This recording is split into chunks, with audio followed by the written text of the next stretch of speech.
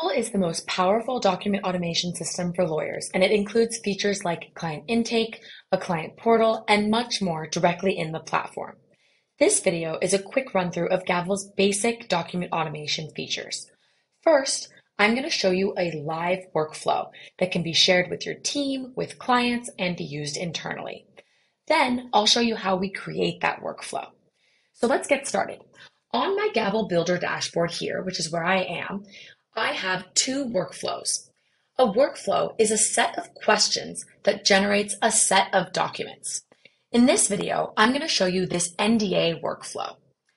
And what I'll do is I'll click the Run button, which will take me to what my live workflow looks like. If I click that button, it's going to open up another tab and I see a variety of different questions that I can choose. All of the questions you see here, along with the logic, the font, the colors, the logo, Everything has been dictated by me and can be completely customized by you. Now, what I'll do is to show you how this workflow is going to generate documents and capture information, I'll go ahead and answer a series of questions. So I'll say my disclosing party is Acme Corp. I'll say my receiving party is ABC LLC. And then I'll say that this is an LLC as an entity type. If I click that this is an LLC, it's going to open up another question which I've also dictated and directed it to ask only in the case where I select that it's an LLC. So I'll now go ahead and go through this workflow. I'll say who all my members of this LLC are. And as I continue, I can go ahead and generate my documents. Now, this workflow is a very simple workflow with just a few questions and just a single document, but your workflows can have many documents, many questions, and many more pieces of logic. But as you can see, I've just generated my NDA, but can open it up and see that Acme Corp, ABC LLC, and the receiving party as an LLC have all been filled out. Now, the next thing I want to show you is how I actually set up this workflow. So I go back to my builder dashboard and I can either click on the workflow name or I can click the edit button. That's going to take me to the screen where I see where I created this workflow. This is the builder dashboard and it's created of two main tabs. The questions tab, where I've created all the questions that I want to ask to gather data for my matter, and the output documents tab, where I've loaded all of the documents that I want to generate at the end of that process.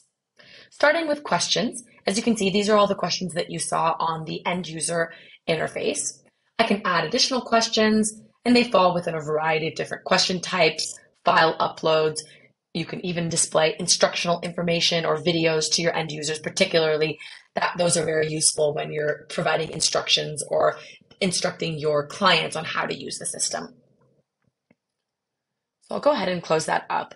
But now that I've created a variety of different questions, the next thing I want to show you is how you can set up logic inside of your workflow.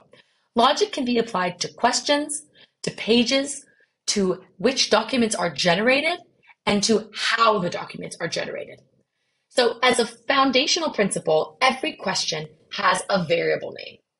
For example, as you can see, my disclosing party, I gave it the variable name disclosing party. For the question, who is the receiving party, I gave it the variable name receiving party. These can all be dictated by you. The one that I'm going to show you now to show question logic is the question number three on the entity type.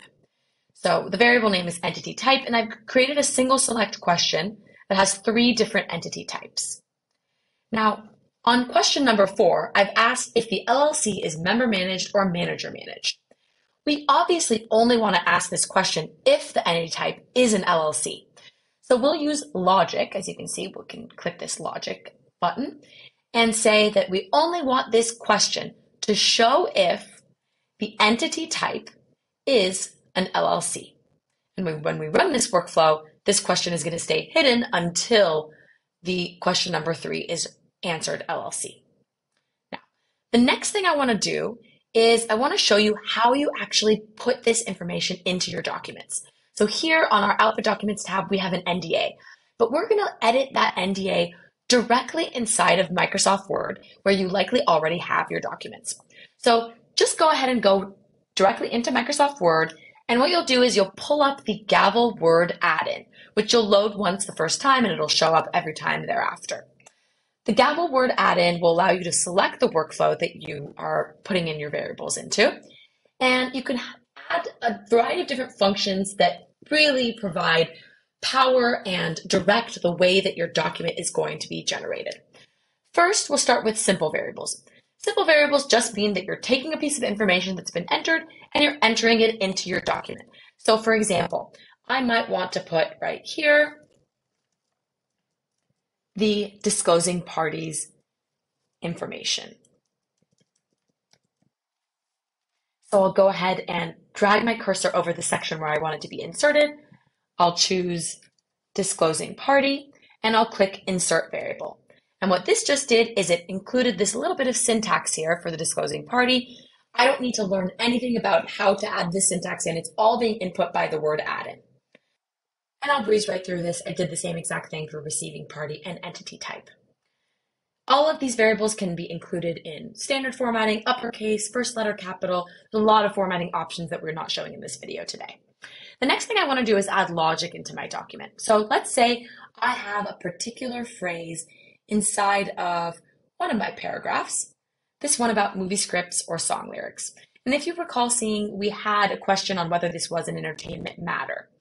And in this case, I want to show this phrase inside of my document only if this is an entertainment matter. So what I'll do is I'll go click show phrase when, and I'll select, it's already selected for me, but I'll select entertainment is yes. Now I can also add much more complexity to these conditions. So I can say show phrase when entertainment is yes, and the number of members is more than two, for example. But in this case, let's keep it simple and just say, let's show this phrase if entertainment is yes. And I'll go ahead and click insert condition. And as you can see, I now have these little bookends that have been added to that conditional phrase. You, again, don't need to learn any of this, but it says if entertainment, then draft movie scripts or song lyrics shall be shall also be part of this definition. And then it has an ending bookend, end the if statement there. These if statements can be nested. They can have, you can have multiple layers of them. You can have paragraphs that appear or disappear. And uh, it, as long as I have numbering inside of my document, that numbering will be will remain intact in the final version of this document. So if I have a paragraph condition on this section and B is removed, then C will turn into B. A few more things I want to note here. You can also add numerical calculations and you can add date calculations, like calculating the length of time between due dates or adding and subtracting time from a date. And finally, if you're collecting lists of information, you can collect those lists and insert them into your document in many different ways, which we'll also go into in, in more detail inside of another, another video. Now, just taking another bird's eye view of what we did today, what we did is we created all the questions for our workflow. We added logic to those questions and to the pages in which we may have had those questions. Then we set up our Word document inside of Microsoft Word and set up all the different pieces of logic that we needed. And finally, we loaded our document and now we were able to run that document. Uh, and if we had multiple documents, we would be able to see all of those documents. Please watch more of our videos to see how you can add more complexity to these workflows. Thank you and happy building.